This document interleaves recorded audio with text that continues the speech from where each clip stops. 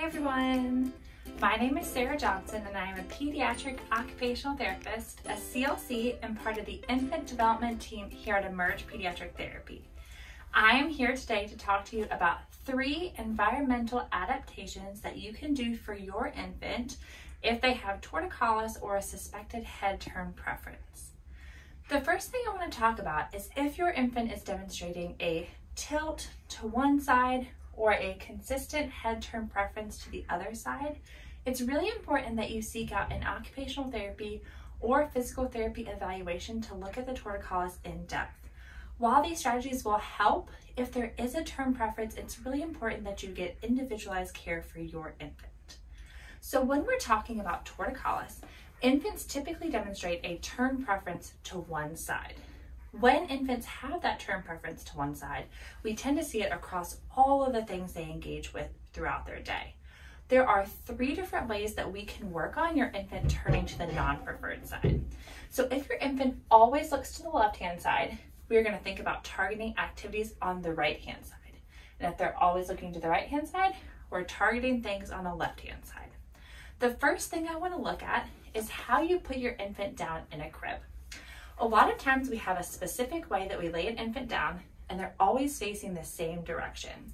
When you think about their position in the crib, they might always be turning in one direction to see you when you enter the room. One strategy you can do is to lay your infant down to the opposite side to encourage turning in the opposite direction, or you can switch the way you lay them down each time they go for a nap or for sleeping at night. That way you'll be encouraging them to turn in both directions and help a little bit with that preference. The second thing I like to look at is where does an infant look when they're in the car? Are they sitting and looking out the window to the right hand side, to the left hand side? Are they looking at a sibling?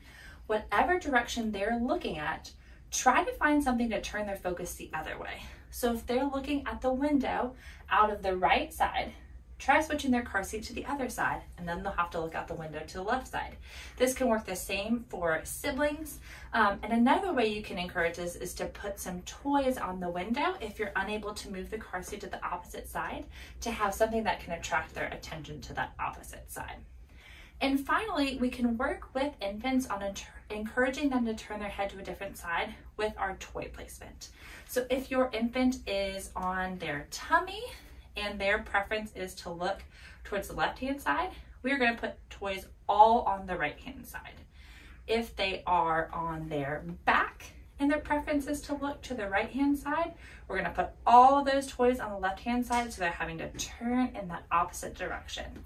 This can also work for sitting as well if your infant is at the point that they're sitting. Remember, whatever side they're looking towards, try to put the toys on the opposite side. I hope you enjoyed these three environmental adaptations that you can use to support your infant's development at home, specifically if they have a turn preference or torticollis. If you have any questions regarding torticollis or infant development in general, please feel free to reach out and we'd be more than happy to help you. Thanks so much.